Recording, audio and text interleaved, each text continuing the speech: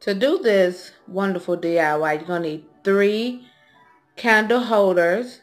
I picked all items up from the Dollar Tree. You're going to need ribbon of any color, one of these three count ornament. So the first thing I'm going to do will take these three candle holders outside and spray paint them gold. Now while the glasses are drying, what I'm going to do is take my three ornaments and as you can, I'm going to show you one I just done. Um, see how smooth that back is now? What you're going to do, they have hooks on them. So we're going to take them off the packaging. And the hooks, they just come, they slide right out. They slide out. And as you can see, there's a little stub right there we're going to take some scissors. We're going to cut that out. And don't worry about the flower coming apart because it's all glued together. So, and we want that as smooth as possible for it to fit on the vase. I mean, I'm sorry, the candle holder. And I'm going to do it again. Take this out. Pull the hook right off it came exactly off and we're going to cut that little stem off. And as you can see I'm using my children's scissors so that's how easy it is to cut that off. Alright now they're all spray painted in gold and the spray paint that I used was this metallic bright gold that I purchased from Walmart.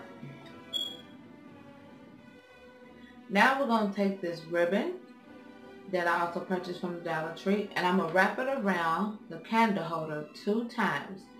So I'm going to do two rows of this ribbon.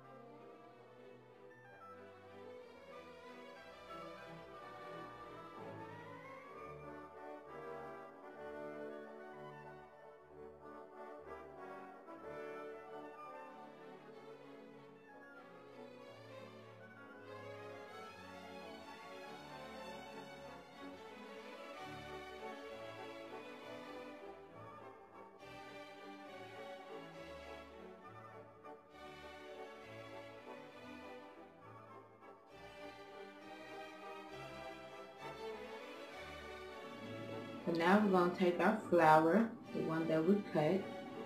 I'm going to place it right here in the center. So I'm going to do is take my glue and put some glue right here in the center.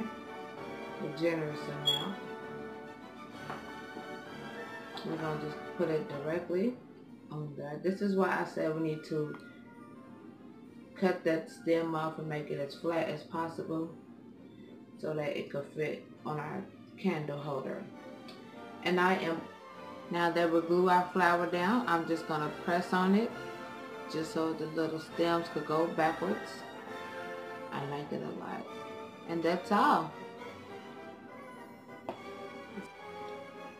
Alright family, this is the finished look and I am in love with the way this tea turned out. I also added the mirrors that I made a couple DIYs back because this is a housewarming gift for one of our family members that is moving into their house. So it's going to be like a housewarming slash Christmas gift.